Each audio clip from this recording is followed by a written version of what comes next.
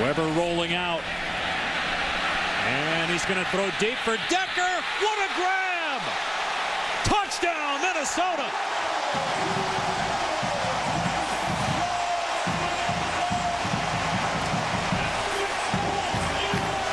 It's the foot down and he has possession. It's just whether or not he scored the touchdown. Just to hold on to that ball is a testament to the hand strength of Eric Deckers, which one of the things that the pro scouts love about Eric is that right there, being able to hold on to the ball when you have a dude running through you. Now you say clean hit, but based on the new emphasis on lead. Following the review, the ruling on the field of touchdown has been confirmed. I don't think they had anything to uh, disavow the fact that